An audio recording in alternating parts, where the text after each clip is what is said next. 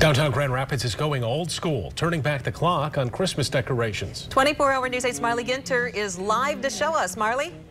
Brian and Sue, this is so wonderful to be down here. They're singing Christmas carols right now, and this really will take you back in time, the way they're doing this holiday lighting. I'm going to step aside so you can see the replica vintage candle light up. Eight, seven,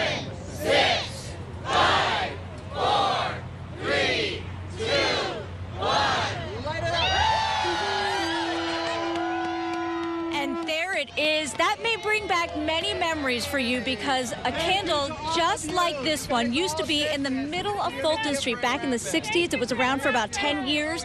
And this is what they would put up every holiday season. Drivers would actually have to drive around it. You'll see vintage, replica vintage decorations all over downtown Grand Rapids and things that will definitely bring some nostalgia. I know that the holiday season already brings back lots of memories. This is sure to do that again. Back to you. Marley was a great idea to get all those out again. I know a lot of people are going to really enjoy that this holiday season.